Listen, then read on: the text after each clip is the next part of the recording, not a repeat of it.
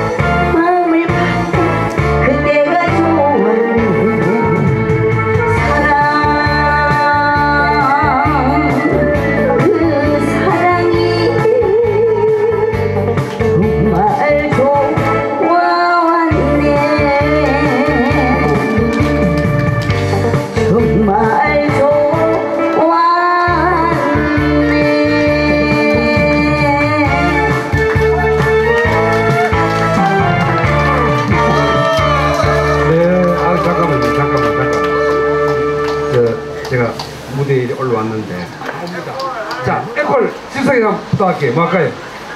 아 자같이 하시면 예, 네, 네. 되겠습니다. 는 자같이 하시면 자 자같이 하시면 부탁드립니다. 박수 주세요.